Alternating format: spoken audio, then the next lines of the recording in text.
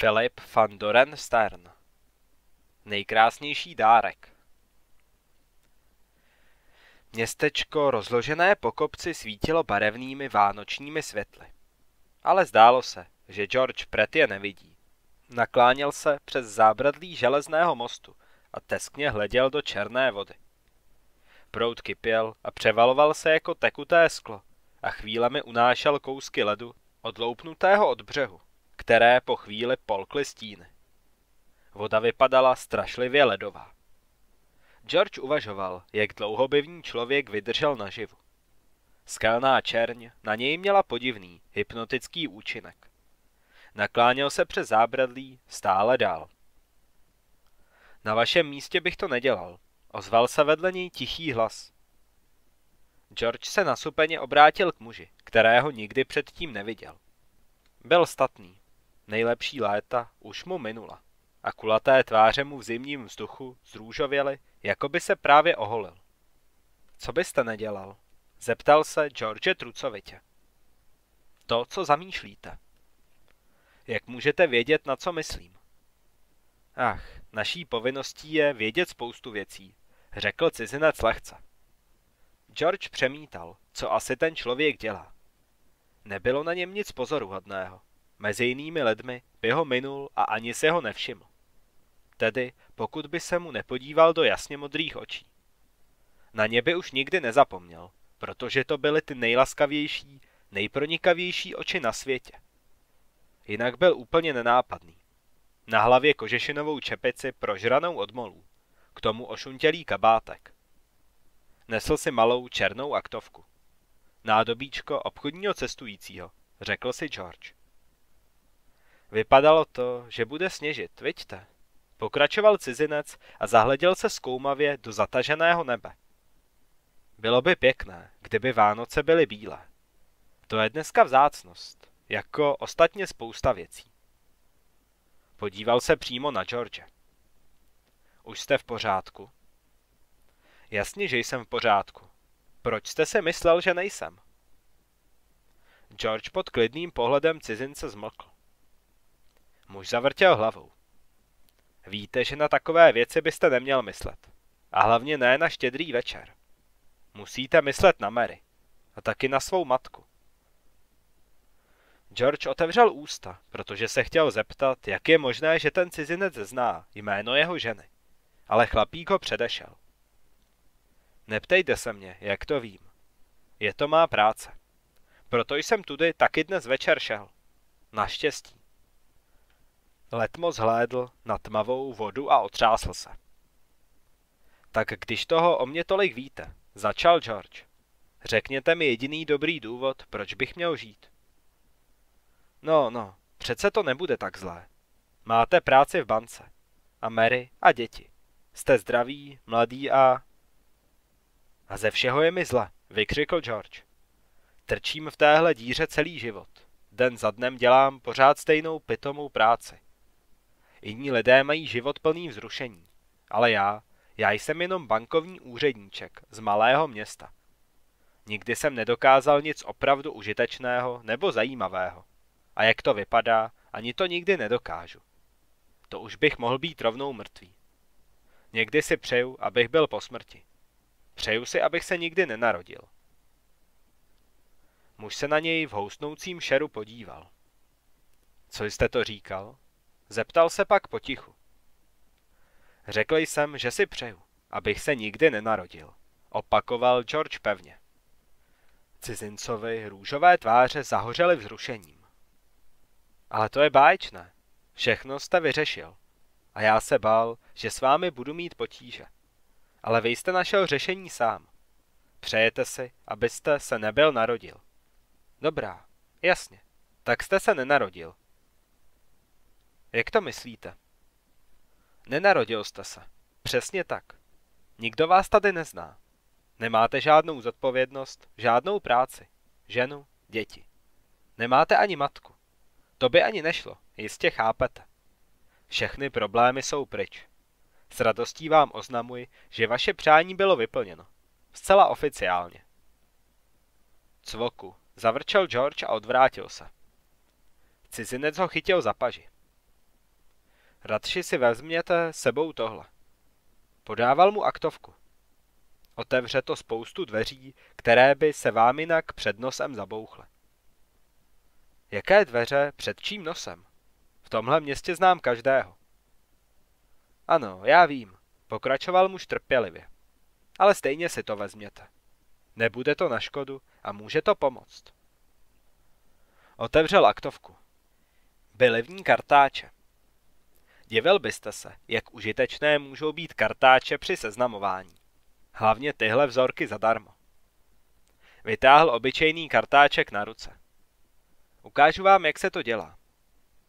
Vrazil aktovku neochotnému Georgeovi do rukou a začal. Když paní domu přijde otevřít, dáte jí tohle a pak rychle mluvíte. Řeknete. Dobrý večer, madam. Jsem ze Světové čistící organizace a chci vás obdarovat tímto pěkným a užitečným kartáčkem, který je úplně zadarmo. Nemusíte platit vůbec nic. A už se chytla. Teď to zkuste vy. Máčkl kartáček Georgeovi do ruky. George okamžitě kartáček vhodil do aktovky a se zlostným cvaknutím zavřel. Tak, řekl. Ale dál se nedostal, protože v dohledu nikdo nebyl. Ten cizinec musel zalézt do křoví, co roste na břehu, pomyslel si George. Vůbec neměl v úmyslu hrát si s ním na schovávanou. Byla už skoro tma a ochlazovalo se. Zachvěl se a vyhrnul si límec kabátu. Po uliční světla už svítila a vánoční svíčky v oknech měkce zářily. Místo, kde člověk vyrostl, je konec konců jediné místo na zemi, kde se může cítit opravdu doma. George pocítil náhlý příval náklonosti i vůči podivínskému starému Henku Bídliovi. Jehož dům právě míjel. Pamatoval si na tu hádku, kterou s ním měl, když autem odřel kousek kůry z Henkova vzrostlého javoru. George se zadíval vzhůru do mohutné koruny bez listí, která se nad ním zdvíhala do tmy. Nikdy se nezastavil, aby si to zranění prohlédl. Nechtěl, aby ho Hank přistihl, jak se na strom dívá. Teď vstoupil přímo do ulice, aby statný kmen proskoumal. Hank nejspíš zvu opravil, nebo ji zamaloval, protože po ní nebylo ani stopy. George rozškrtl sirku a sklonil se, aby se podíval blíž. Narovnal se s podivným, tísnivým pocitem v žaludku. Žádná jizva tam nebyla. Kůra byla hladká a bez poškození. Vzpomněl si, co říkal ten muž na mostě. Byl to samozřejmě úplný nesmysl, ale chybějící šrám ho znepokojil. Když došel k bance, všiml si, že co si není v pořádku. Budova byla temná a on přece věděl, že na chodbách nechal rozsvíceno. Dále si všiml, že kdo si zavřel okenice. Oběhl dům dopředu. Na dveřích byla přibitá stará, oplískaná cedule. George slova sotva rozluštil. Pronajmutí nebo na prodej. Obraťte se na Jamesa Silvu, realitního makléře. Třeba je to vtip nějakých uličníků. Přemýšlel horečně.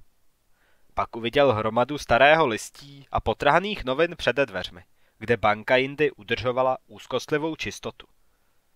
V kanceláři Jima Silvy na druhé straně ulice se ještě svítilo.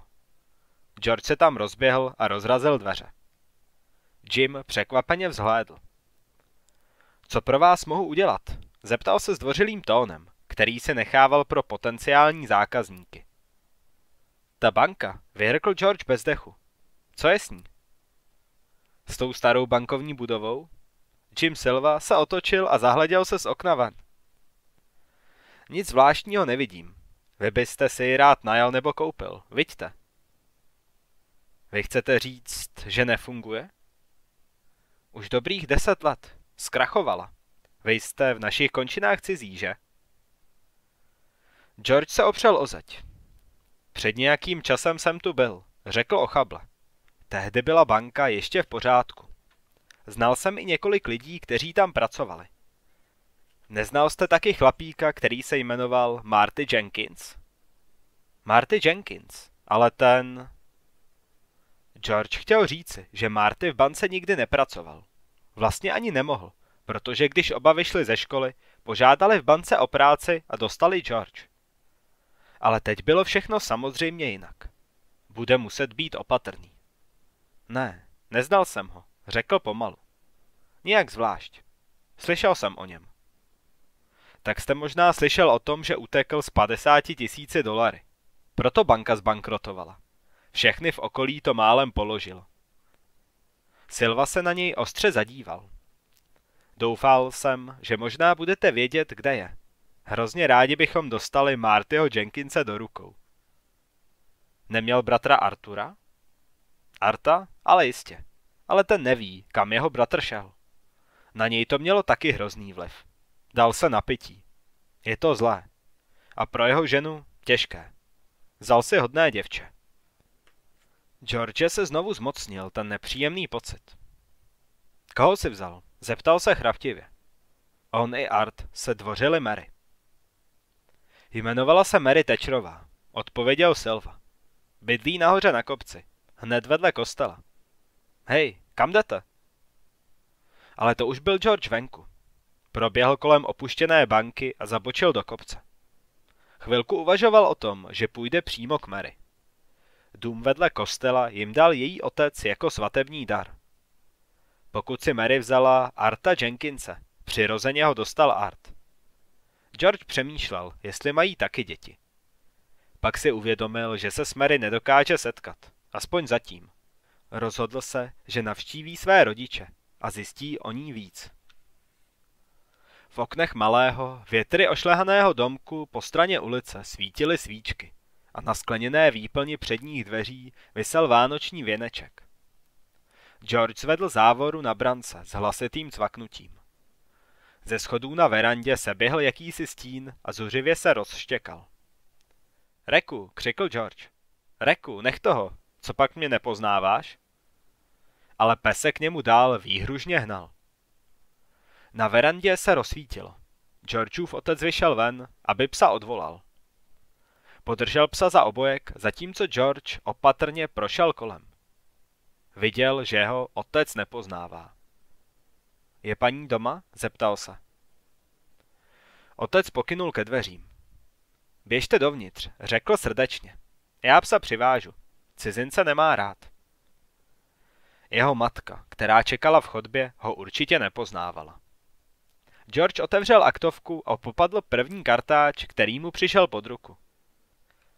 Dobrý večer, madam, vychrlil zdvořile. Jsem ze Světové čistící organizace. Zde máte od nás vzorek kartáče zdarma. Nezávazně.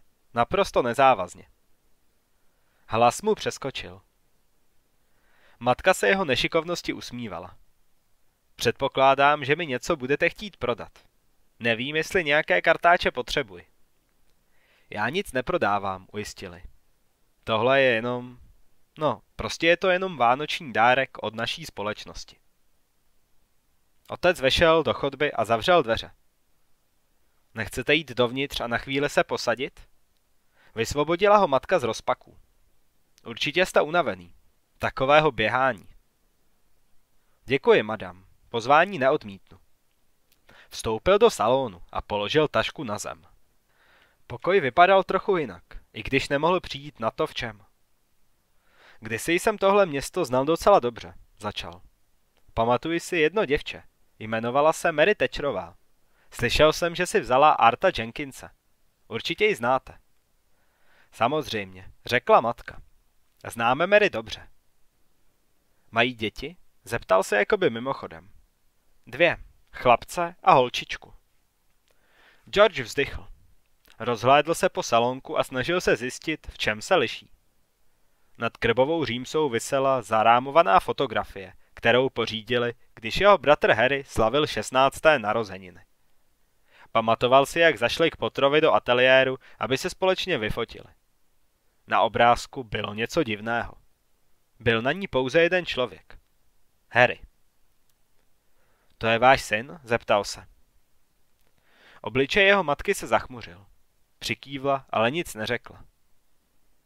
Myslím, že jsem ho taky potkal, řekl George váhavě. Jmenuje se Harry, ne? Matka se odvrátila a podivně se odkašlala. Manželi vzal chlácholivě kolem ramen. Jeho hlas, vždycky mírný, najednou řezal. Nemohl jste ho potkat. Už je dlouho mrtvý. Utopil se v den, kdy vznikla ta fotografie. Georgeovi vzpomínky zaletěly až k tomu dávnému srpnovému odpoledni, kdy s Harrym navštívili Potrův ateliér. Cestou domů se šli vykoupat. Vzpomněl si, že Harryho chytla křeč. Vytál Harryho z vody a tím to pro něj skončilo. Ale kdyby tam tehdy nebyl? Promiňte, řekl zdrceně. Myslím, že radši půjdu. Doufám, že se vám ten kartáč líbí. A objeva vám přeji veselé Vánoce. To tomu dal, přát jim veselé Vánoce, když oba myslí na svého mrtvého syna. Rex sebou divoce škubal na řetězu, když George scházel po schůdcích a jeho odchod doprovázel vytím. Nyní zoufale toužil vidět Mary. Nevěděl, jestli snese, když ho nepozná, ale museli vidět. V kostele se svítilo a zbor ještě na poslední chvíli vybrušoval písně na vánoční bohoslužby. Varhaník nacvičoval tichou noc, každý večer, až se to Georgeovi úplně sprotivilo. Ale teď mu ta hudba málem utrhla srdce. Nevidoucně se potácel po chodníku k vlastnímu domu. Když zaklepal na dveře, dlouho nebylo nic slyšet. A pak se rozlehl dětský křik. Za okamžik Mary otevřel. Když ji George uviděl, málem ztratil hlas. Veselé Vánoce, madam. Podařilo se mu konečně vypravit. Ruka se mu třásla, když se pokoušel otevřít aktovku. Když George vešel do obývacího pokoje, přes všechny chmury se potajmu ušklíbl, protože si všiml příliš drahé modré pohovky, kvůli které se často hádali. Mary zřejmě Arta neušetřila a hádku vyhrála i s ním. George otevřel aktovku. Jeden kartáč měl světle modré držátko a různobarevné štětiny. Určitě to byl kartáč, který se jen tak rozdávat neměl, ale George ho Mary dal. Tím se vám bude krásně kartáčovat pohovka, řekl. Páni, to je krásný kartáč, zvolala. Vy mi ho dáváte? Vážně přikývl. Zvláštní zaváděcí nabídka. Jemně přejela kartáčem pohovku. Uhladila sametový polštář. To je krásný kartáč. Děkuji vám. Já... Najednou se z kuchyně ozval křik a dovnitř vběhly dvě malé děti. Malá dívenka s obyčejnou tvářičkou se s hlasitým zlikotem vrhla matce do náruče, zatímco sedmiletý chlapec ji dohonil a mířil jí dětskou pistolí na hlavu. Mami, ona nechce umřít, ječel. Zastřelil se mi už stokrát, ale neumře. Vypadá přesně jako Art Jenkins, pomyslel si George. A chová se taky jako on. Chlapec najednou obrátil pozornost na George. Kdo jsi? zaútočil. Namířil na něj pistolku a zmáčkl spoušť. Jsi mrtvý, vykřikl. Jsi mrtvý. Proč nespadneš a neumřeš? Od verandy se ozvaly těžké kroky. Chlapec se polekaně stáhl. George viděl, jak Mary upírá na dveře ustrašený pohled. Vešel Art Jenkins. Chvíli stál ve dveřích, opíral se o kliku. Oči měl skelné. Kdo je to? Zeptal se stěžka. Prodavač kartáčů. Pokusila se mu to Mary vysvětlit. Dal mi tenhle kartáč. Prodavač kartáčů. Zavrčel Art. Tak mu řekni, že žádné kartáče nechceme. Art se dokolébal k pohovce, na kterou si z vysoka sedl. George se na Mary zoufale díval. Očima ho prosila, aby odešel. Zamířil ke dveřím, následován Artovým synem, který na něj neustále mířil pistolkou a řval. Jsi mrtvý, mrtvý, mrtvý. Možná má ten kluk pravdu, pomyslel si George, když už stál na verandě. Možná byl mrtvý, anebo tohle všechno byl zlý sen, ze kterého se nakonec snad probudí. Chtěl najít toho muže na mostě a pokusit se ho přesvědčit, aby celou dohodu zrušil. Pospíchal z kopce dolů a když se blížil k řece, rozběhl se. Georgeovi se ulevilo, když si všiml, že cizinec na mostě skutečně stojí. Už mám dost, lapal po dechu. Vytáhněte mě z toho. Vy jste mě do toho zavlekl. Cizinec zvedl obočí. Já vás do toho zavlekl? Splnilo se vám přání. Dostal jste všechno, oč jste žádal. Jste nyní nejsvobodnější člověk na zemi. Nic vás nesvazuje. Můžete jít kamkoliv. Můžete dělat cokoliv. Co víc, můžete chtít. Vraťte mě zpátky, naléhal George. Vraťte mě zpátky. Prosím vás. Nejenom kvůli mě, ale také kvůli ostatním. Vy to nechápete. Já se musím dostat zpátky. Potřebují mě tu. Rozumím, pravil cizinec pomalu. Chtěl jsem jenom, abyste vy porozuměl. Dostal jste největší dar ze všech. Dar života. Možnost být součástí tohoto světa a zapojit se do něj. Přesto jste ten dar odmítl. Při těch slovech se rozzvučel zvon v kostele na kopci. Zvolával měšťany k vánoční bohoslužbě. Pak se rozezvonil i městský kostel. Musím se vrátit, přemlouval ho zoufale George. Nemůžete mě takhle ode všeho odříznout. Je to... to je vražda. Neřekl byste spíš sebevražda? Zamumlal cizinec. Můžete si za to sám, ale když je ten štědrý večer, no tak, zavřete oči a poslouchejte zvony. Hlas mu klesl. Poslouchejte zvony. George uposlechl. Cítil, jak mu na tvář dopadla vločka sněhu. A pak další a další. Když otevřel oči, sníh už hustě padal. Tak hustě, že kolem sebe nic neviděl. Cizince nezahlédl. Neviděl skoro nic. Sněhové nadělení bylo takové, že George musel šátrat po zábradlí poslepu. Když se vydal zpátky k městečku, měl pocit, že slyší, jak někdo říká. Veselé Vánoce. Ale zvony zvonily jako o závod, takže si nebyl jist. Když došel k domu Henka Bydlíja, zarazil se, zašel do vozovky a úzkostlivě se zahleděl na kmen velkého javoru. Jizva tam byla, díky bohu. Lásky plně se stromu dotýkal. Měl by s tou ránou něco udělat. Třeba sehnat stromového doktora. Každopádně bylo jasné, že se vrátil. Byl znovu sám sebou. Možná to byl jenom sen, nebo ho ta hladce plynoucí černá voda zhypnotizovala. Na rou hlavní a mostecké skoro vrazil do nějakého pospíchajícího chodce. Byl to Jim Silva. Ahoj, Georgi, pozdravil ho radostně. Dneska jdeš pozdě, ne? Řekl bych, že na štědrý večer chce být člověk brzo doma. George se zhluboka nadechl. Jenom jsem se chtěl podívat, jestli je banka v pořádku. Musel jsem se přesvědčit, jestli se tam svítí. Jasně, že svítí. Všiml jsem si, když jsem šel kolem. Podíváme se, ne? A George už táhl Silvu za rukáv. Chtěl, aby měl svědka.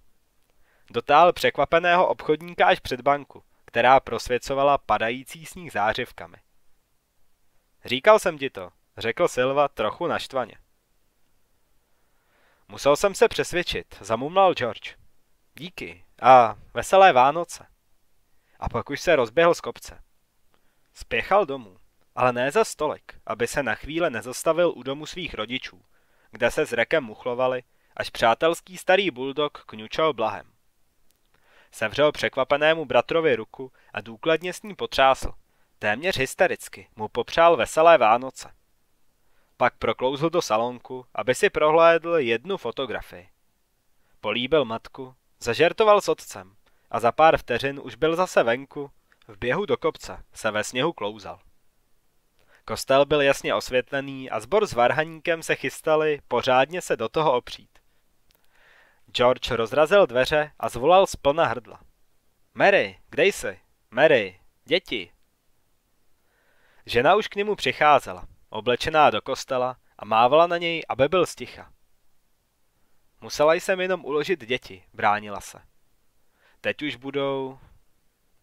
Ale další slovo už nevyslovila, protože ji zadusil polipky a pak ji otáhl do dětského pokoje, kde porušil veškeré zásady rodičovského chování, protože divoce objal synka i dcerku a úplně je probudil.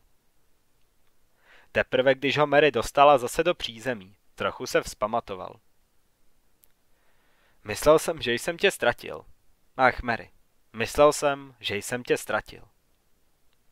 Co se děje, miláčku? Ptala se polekaně. Stáhl ji k sobě na pohovku a znovu je políbil.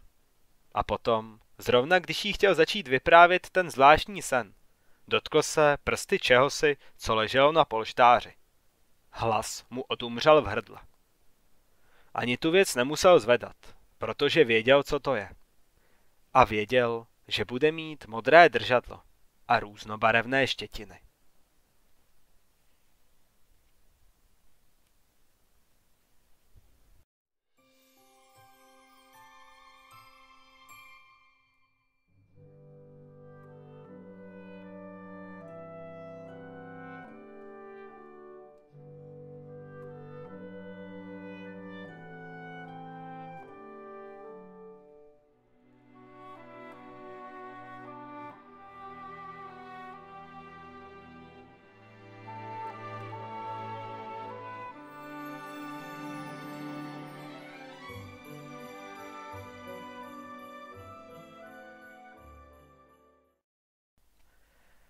Nový děda mráz Brian W. Eldis Malá, stará Robertka sundala hodiny z police a postavila je na plotnu. Pak vzala konvici a pokusila se ji natáhnout. Hodiny už skoro vařily, než si uvědomila, co provedla. Přidušeně vykřikla, aby neprobudila starého Robina. Popadla hodiny prachovkou a upustila je na stůl. Zuřivě tikaly. Dívala se na ně. I když Roberta natahovala hodiny každé ráno, hned jak vstala, odmítala se na ně dívat už celé měsíce. Teď se podívala a viděla, že je 7.30. Božího dvánoční 2388. Tak bože, zvolala. To už jsou Vánoce. Letos přišly po půstu nějak brzo. Ani si neuvědomila, že je rok 2388. Žili s Robinem v továrně už velmi dlouho. Pomyšlení na Vánoce ji vzrušilo, protože měla ráda překvapení. Ale také ji polekalo, protože si vzpomněla na nového dědu Mráze a o něm radši moc neuvažovala. O novém dědovi Mrázovi se povídalo, že chodí na obchůzku ráno na Vánoce. Musím to povědět Robinovi, řekla si. Ale chudák Robin byl v poslední době velmi nedůtklivý. Uměla si představit, že když na něj Vánoce padnou tak náhle, pořádně ho to rozčílí. Roberta si ale neuměla nechat nic pro sebe, takže bude muset sejít dolů a povědět to tulákům. Kromě Robina v továrně žili jen tuláci. Postavila konvici na sporák, vyšla z bytu a zamířila do továrny, jako myška, vybíhající ze svého hnízda, vonícím po biskupském chlebíčku. Roberta a Robin bydleli až nahoře. Tuláci měli svůj ilegální domov až dole. Roberta se po špičkách pustila po dlouhém, předlouhém ocelovém schodišti. Továrna byla plná zvuků, kterým Robin říkal tichý hluk. Neustával ve dne ani v noci a ti dva lidé už dávno přestali slyšet. Pokračoval by, i kdyby už neslyšeli vůbec nic. Dnes ráno byly stroje v plné práci, jako vždy, a vůbec nevypadaly vánočně. Roberta si zvlášť všimla dvou strojů, které nenáviděla nejvíc. Jednoho s kalcovskými pohyby, který balil nemožně tenký drát do nemožně malých krabiček. A toho, který sebou mlátil, jako by bojoval s neviditelným nepřítelem. A nezdálo se, že by něco vyráběl. Stará paní se kolem nich obezřetně prosmíkla a pak zamířila do sklepa. Přišla k šedivým dveřím a zaklepala na ně. Okamžitě zaslechla, jak se tři tuláci vrhli na dveře. Zevnitř se o ně opřeli a chraptivě na sebe pokřikovali. Roberta křičet nemohla, ale počkala, dokud se neutišili a pak přes dveře zavolala, jak nejhlasitěji dovedla. To jsem jenom já, chlapci. Znovu nastal ruch, pak se mezi dveřmi a zárubní objevila škvírka. Nakonec se dveře otevřely do kořán. Stáli tam tři otrhanci se sklíčeným výrazem ve tváři. Jerry, bývalý spisovatel, a Tony s Dustym, kteří vždycky byli a budou jenom tuláci.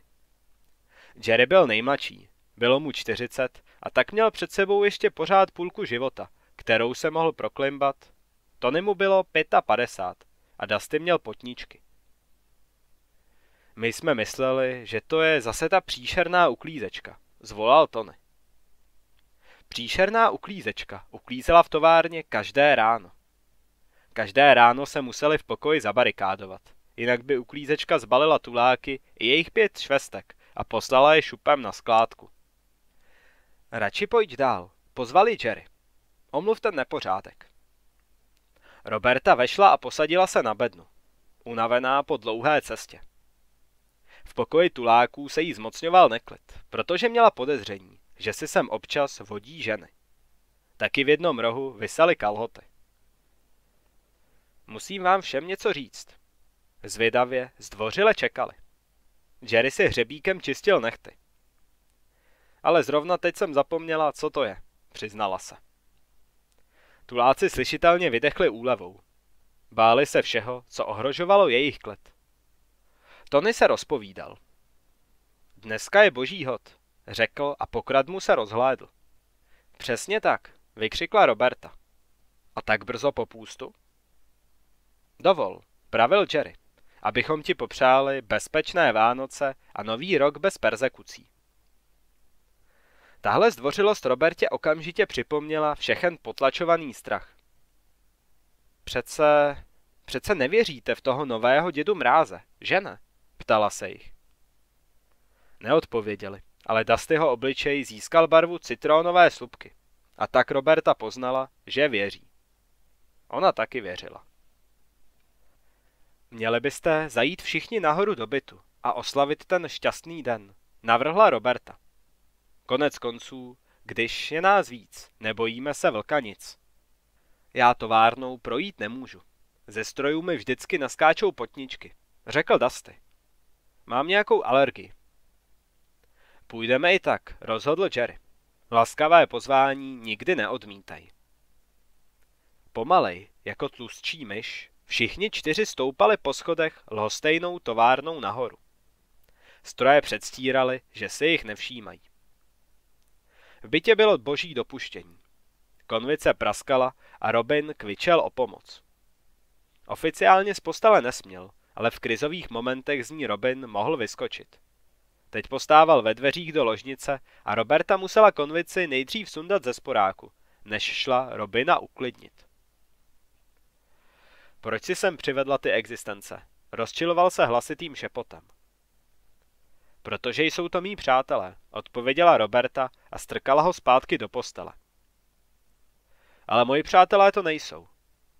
Přemýšlel, že by mohl říci něco opravdu hrozného. Třásl se, zápasil s tím pokušením, ale neřekl to. Z toho úsilí celý zeslábl a rozčílil se ještě víc. Jak jen nenáviděl, že je v její moci. Rozlehlou továrnu měl na starosti on, takže jeho povinností bylo dohlédnout, aby se dovnitř nedostal nikdo nežádoucí. Ale dopadlo to tak, že nemohl tuláky vyhnat, když se jich žena zastala. Život byl opravdu k vzteku. Přišli jsme vám popřát bezpečné Vánoce, pane proktore, řekl Jerry a vklouzl do ložnice i s oběma kamarády. Vánoce a mně se vyrazily potníčky. Přidal se Dusty. Vánoce nejsou, sténal Robin, když ho Roberta zastrkávala pod deky. To říkáte jenom proto, abyste mě rozlobili. Kdyby jenom věděli nebo tušili, jaký vztek mu kolotá v žilách. Jako nemoc. V té chvíli cinklo doručovací potrubí a do prostřed místnosti vletěla obálka. Robiny od Roberty vzal s roztřesenýma rukama a otevřeli. Uvnitř byla vánoční pohlednice od ministra automatických továren. To dokazuje, že na světě jsou ještě nějací živí lidé, pravil Robin. Ti blázni zde nebyli tak důležití, aby dostávali vánoční pohlednice. Manželka krátkozradcem žourala na ministrův podpis. To je otisk razítka, Robine, upozornila ho. Nedokazuje to nic. Teď se doopravdy rozuřil. Odporuje mu před touhle verbeží. A Robertiny tváře jsou od minulých Vánoc zase o něco vrázčitější, což ho také rozlobilo. Zrovna se do ní chtěl pustit, když tomu pohled padl na adresu na obálce. Robin Proctor, AF X10. Ale tahle továrna není X10, protestoval hlasitě. Je to SC 541. Možná jsme 35 let v nesprávné továrně, prohodila Roberta. Záleží na tom vůbec? Otázka byla tak nesmyslná, že stařík strhl povlečení z postele. Tak to bych zjistit, ty stará hlupačko, zaječel. Číslo továrny je vyryté nad hlavním vstupem. Běž se podívat, co je tam napsáno. Jestli tam není SC 541, musíme odtud okamžitě odejít. Rychle. Já půjdu s váma, řekl Jerry staré paní. Všichni s ní půjdete, zařval Robin. Já vás tady nechci. Zamordovali byste mě ve vlastní posteli. Nijak je to nepřekvapilo, i když Tony se lítostivě zadíval na prázdnou čajovou konvici, kterou míjel. A tak se znovu ocitli v nahuštěných patrech továrny a přesunuli se k hlavnímu výstupu. Dopravníky zde nakládali hotové výrobky na čekající auta. Moc se mi to tady nelíbí, řekla Roberta stísněně. Stačí, abych ven jenom vyklouzla a agorafobie se mi zhorší. Přesto se podívala tam, kam jí Robin přikázal. Nad východem se skvěl nápis. X10.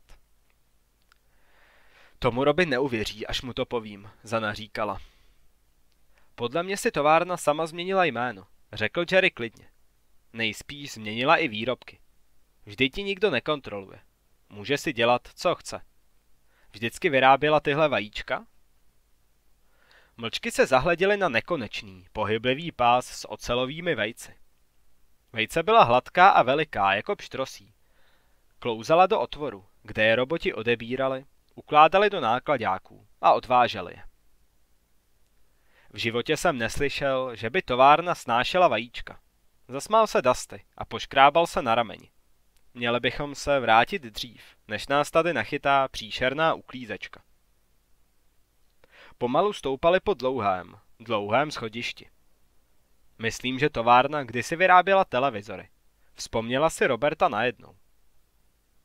Jestli už nejsou lidi, nejsou potřeba ani televizory, řekl Jerry pochmurně. Nemůžu si vzpomenout určitě. Robin, když se novinku doslechl, byl bez sebe a vsteky spadl z postele. Vyhrožoval, že půjde dolů a podívá se na jméno továrny sám a od plánu upustil jen proto, že měl soukromou teorii, že celá továrna je jenom Robertinou halucinací. A co se týče vajec, zajíkal se. Jerry sáhl do potrhané kapsy, vytáhl jedno to vejce a položil ho na podlahu. V tichu, které se rozhostilo, všichni slyšeli, jak vejce tiká. To jsi neměl dělat, Jerry, zachraptěl Dusty. Do toho ti nic není. Všichni hleděli na Jerryho, ustrašení o to víc, že vůbec nevěděli, co je tak děsí. Přinesl jsem vám to, protože jsem si myslel, že by nám továrna měla dát vánoční dárek. Řekl Jerry zasněně a dřepl se, aby se na vejce podíval blíž. Víte, před dávnými časy, než stroje prohlásili všechny spisovatele za nadbytečné, jsem se setkal se starým robotím spisovatelem. A ten starý robotí spisovatel se ocitl ve sběru, ale stačil mi říct pár věcí.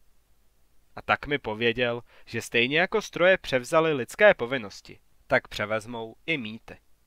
Samozřejmě si mýty přizpůsobí své víře, ale myslím, že by se jim líbila myšlenka o rozdávání vánočních dárků. Dusty Jerryho nakopl, až se Jerry převalil. To je za ten nápad, vyjekl.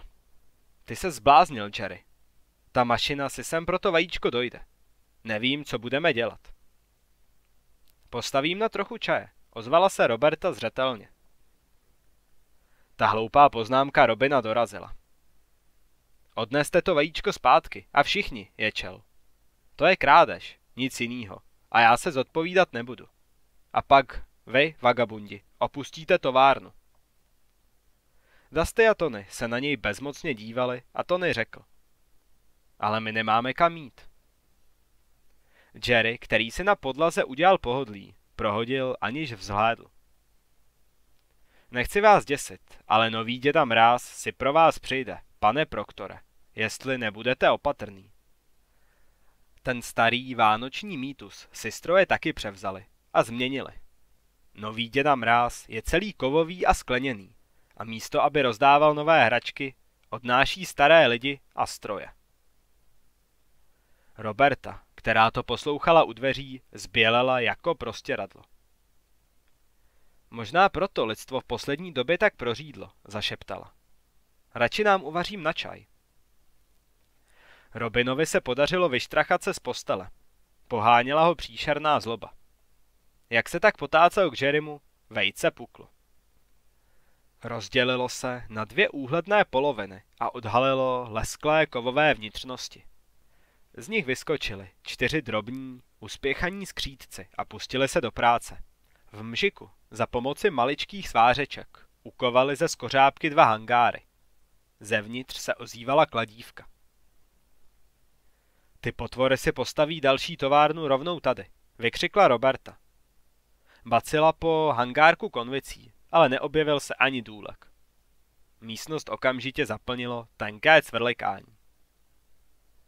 Pane bože, oni si telegrafují o pomoc, zařval Jerry. Okamžitě se musíme odtud dostat.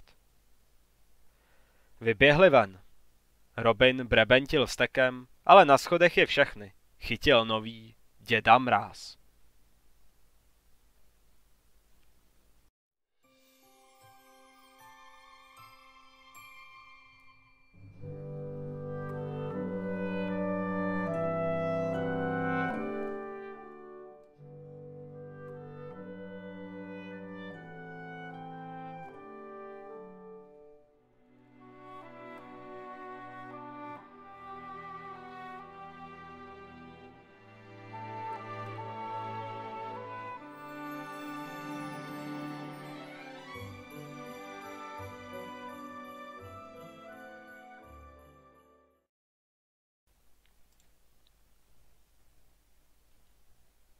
Brian Wilson Eldis.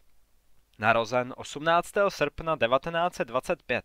Zemřel 19. srpna 2017 v Oxfordu. Byl britský autor science fiction, řazený mezi autory tzv. nové vlny. Mezi jeho nejznámější díla patří román Nonstop a trilogie Helikónie. Brian Wilson Aldis se narodil 18. srpna 1925 v Derhamu, v Norfolku v Anglii. Navštěvoval St. Peter's Court Preparatory School v Becktonu. V roce 1936 byl přijat na Framlington College v Suffolku a o tři roky později začal studovat na West Buckland School v Devonu. V září roku 1943 vstoupil do armády. V Norwichi absolvoval základní výcvik, načež byl převelen ke spojkařům do tábora Kettering v Yorkshireu. Od roku 1944 do roku 1947 sloužil na mnoha místech jihovýchodní Asie, odkud si přivezl nejednu inspiraci pro svou tvorbu. V roce 1947 odešel z armády a začal pracovat jako knihkupec v Oxfordu. O rok později se oženil s Oliví Frestikuovou. První dítě, Clive, se mu narodilo v roce 1955. O rok později přestal pracovat jako knihkupec a dal se na dráhu profesionálního spisovatele. Druhé dítě, Caroline, se narodila v roce 1959.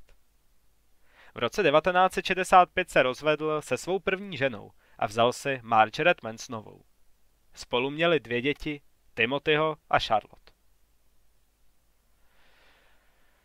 V roce 1954 vyšla Brianu Oldisovi první práce A Book in Time v únorovém vydání The Bookseller.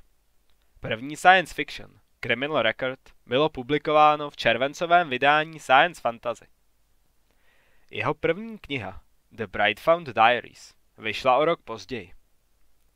V roce 1957 vydal první science fiction knihu, sbírku krátkých povídek Space, Time and Nathaniel a zároveň se stal literárním redaktorem Oxford Mail.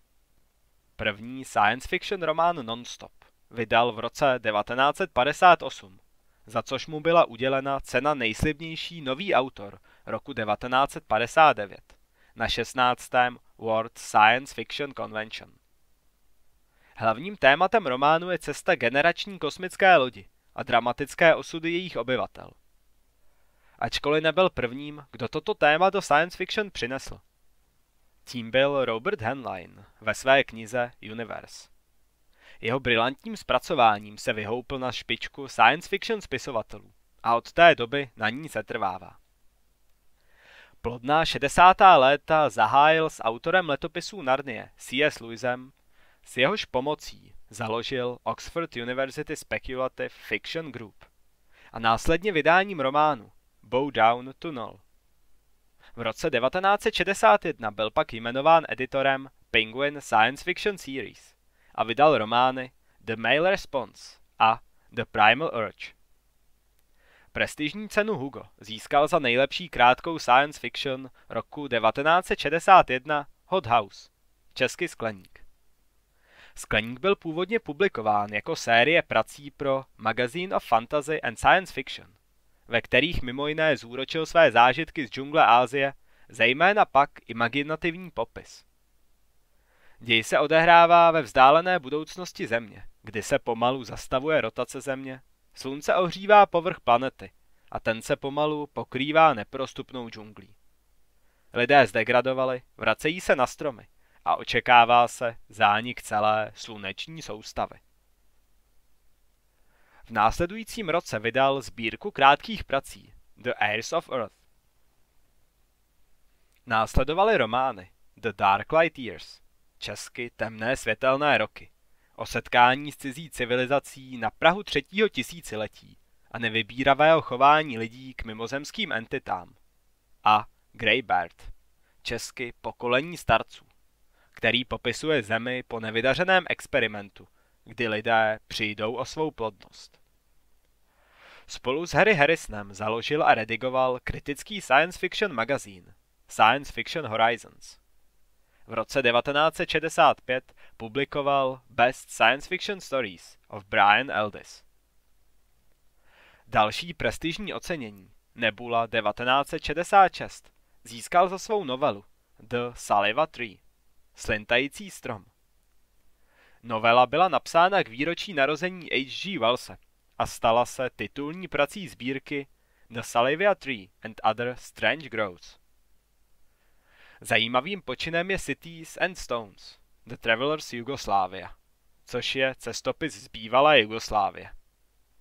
V následujících letech vydal román An Edge. V USA vyšlo jako Cryptozoic. Sbírku Nebula Ever Stories 2 s Harry Harrisonem Report of Probability A Best Science Fiction 1967 a Faravel Fantastic Venus. V roce 1968 se také stal uměleckým dopisovatelem The Guardianu. V roce 1970 publikoval první dva díly trilogie Horácia Stapse, The Hand Treated Boy a The Soldier Erect. Třetí díl, A Root Awakening, vyšel v roce 1978. Román Frankenstein Unbound z roku 1973 se stal předlohou pro film Rogera Cormana z roku 1990. V roce 1973 vydal svou historii science fiction Billion Years Pre The History of Science Fiction. Opravené a rozšířené vydání pak vyšlo v roce 1986 jako Trillion Years Pre. Malajská tapisérie a Brothers of the Head jsou pro Aldise nezvyklé fantazy. Hlavním hrdinou je renesanční dobrodruh, který prožívá své, zejména milostné, eskapády v alternativním světě. Minimální děj se odehrává ve městě Malásie, která je ohrožováno nájezdníky.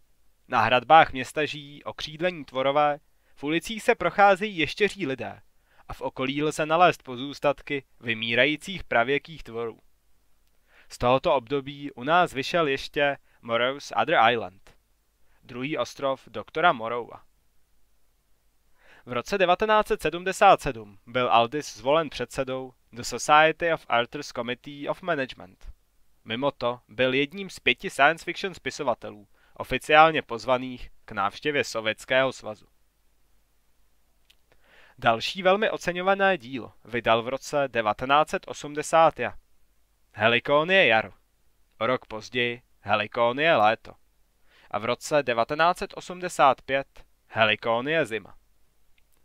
Trilogie popisuje planetu se zvláštním oběhem, na které se střídají roční období v dlouhých cyklech, přinášejících velmi významné změny v celé ekologii planety. Na tomto pozadí se odehrávají dramata obyvatel, kteří každý cyklus znovu musí vybudovat civilizaci. V roce 1989 Brian Aldiss napsal již třístou povídku North of the Abyss. V tomto roce vydal také sbírku Rovníková romance. Povídka Super Toys Last All Summer Long se stala základem filmu AI The Artificial Intelligence a Aldis spolupracoval se Stanleym Kubrickem na scénáři. Mimo četných literárních cen získal také v roce 2005 řád britského impéria.